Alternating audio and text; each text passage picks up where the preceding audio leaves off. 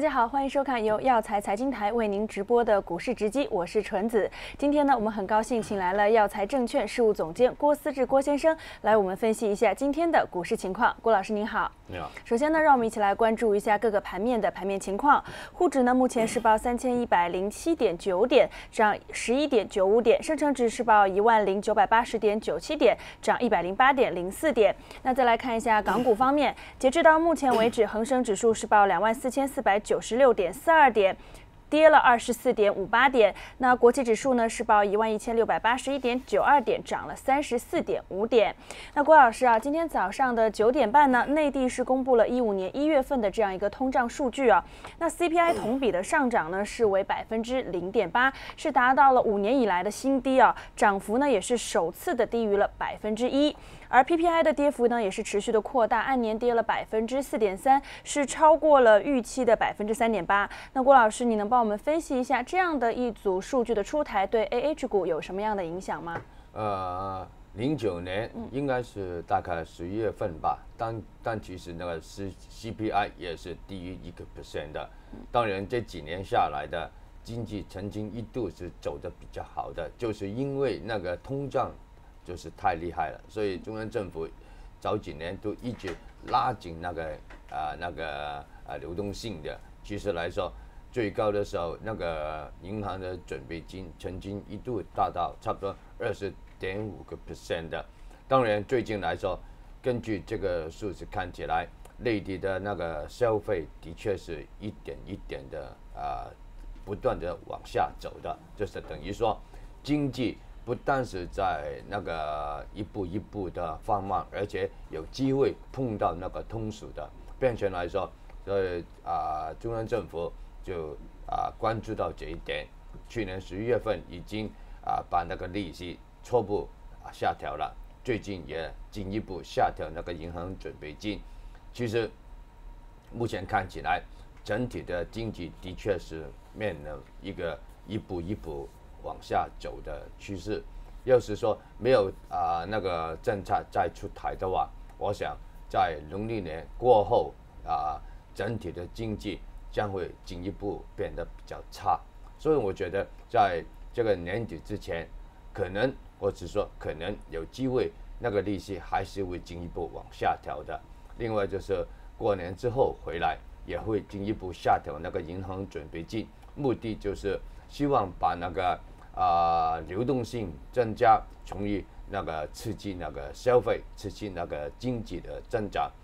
看起来全年要达到差不多七点五个 percent 的经济增长，其实有一定的困难的。当然，中国过去的经济一向就受啊那个出口、内部需求跟那个固定投资这三个板块去拉动的。固定投资其实来说也没有什么啊头痛的地方。只要中央政府把基建多做一点点，其实来说已经可以拉动那个需求，啊，带动那个经济的增长了。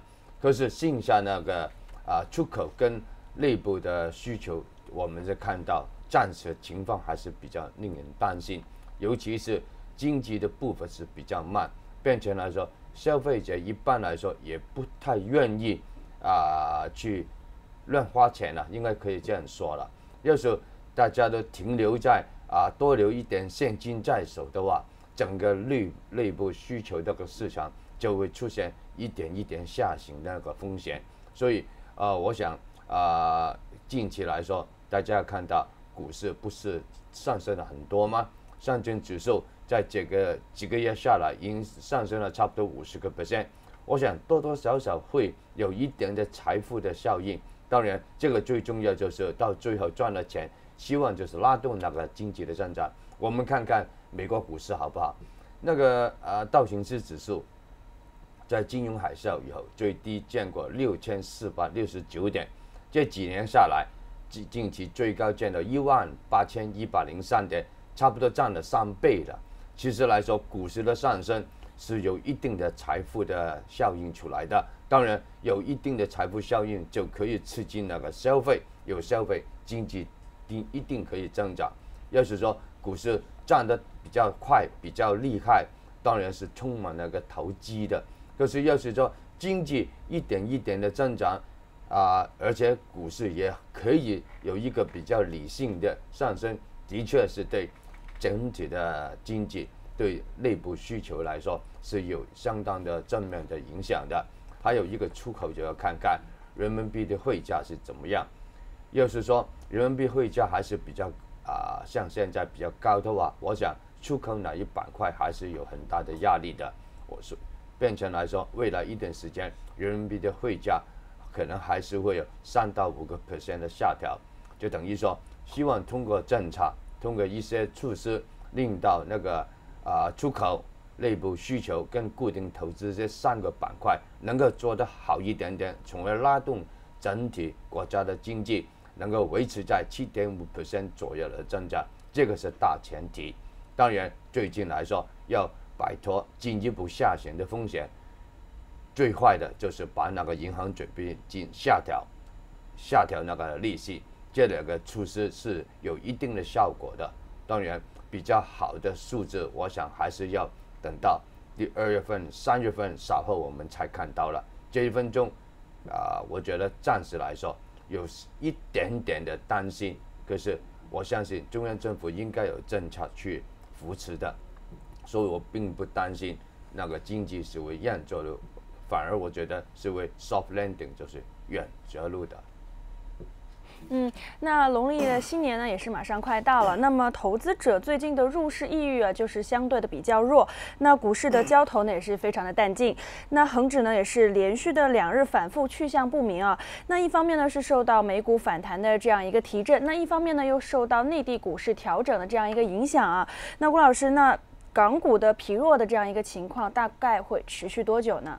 我想还是有一段时间。大家看到了，二月份的股市到目前为止还是不明的。刚才也说得到，就是说，因为现在恒生指数是刚刚跌穿了那个十天线，其实今早曾经一度跌穿了二十天线。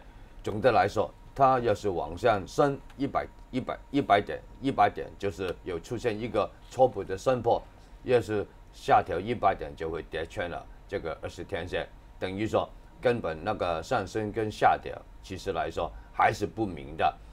二月份的股市虽然暂时还是一个先低而后高，低位是二号的两万四千三百二十四点，高位暂时来说就是五号的两万五千零四十八点。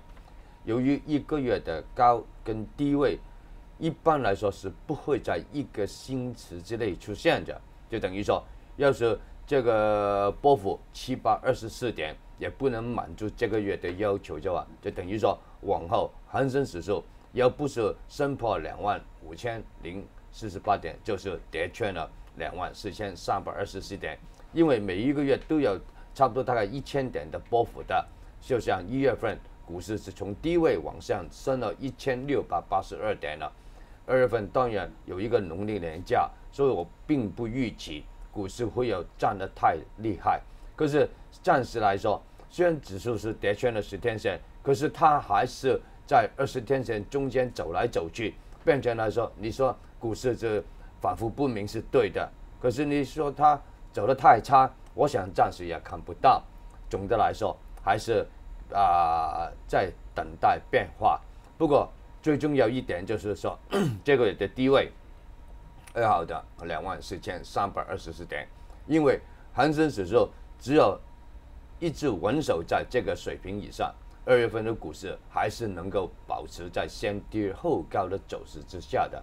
当然，要是恒指稍微跌穿了两万四千三百二十四点的，就等于说这个月的股市将会转为先高二后低，那情况就不太好了。